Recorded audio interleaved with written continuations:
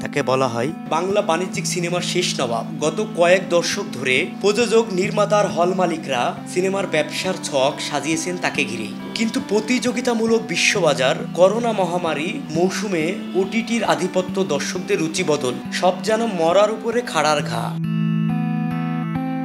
সহজেই হেরে যাওয়ার পাত্র নন দুই সন্তানের এই বাবা। দীর্ঘ বিরতির পর দেশে ফিরেই ঘোষণা দিয়েছিলেন, নতুন চমক নিয়ে আসছেন ভক্তদের জন্য। কি সেই চমক, আজও জানা যায়নি। তবে বেশ কিছু নতুন ছবির ঘোষণা দিয়েছিলেন এই অভিনেতা।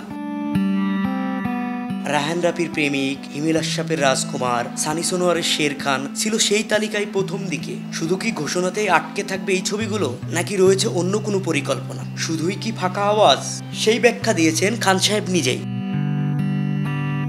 দেশের একটি গণমাধ্যমকে সাকিব বলেন, আর একটু সময় নিয়ে কাজ শুরু করতে চাই। এখন নির্মাণের জন্য নির্মাণ করলে হবে না। সিনেমার মতো করে সিনেমা নির্মাণ করতে হবে।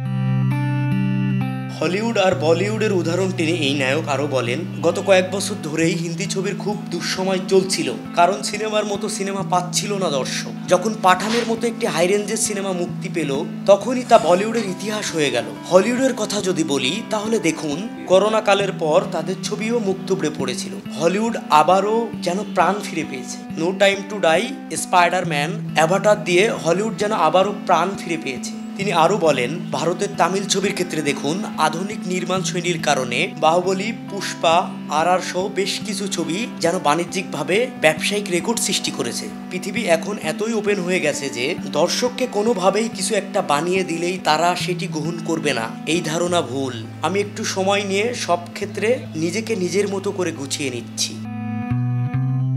নিজেকে গুছিয়ে নিতে আর কত সময় নেবেন এই ঢালিউড সুপারস্টার? সেই প্রশ্নের সঠিক উত্তর নেই। আদৌ কি শাকিব খান উদ্ধার করতে পারবেন তার সেই হারানো সাম্রাজ্য? রাজকুমার প্রেমিক শের খান কি পারবে তার সেই জনপ্রিয়তা ফিরিয়ে দিতে? প্রশ্নটা থাকল সময়ের কাছে। মিঠুনাল মামুন, বিবিএস বাংলা।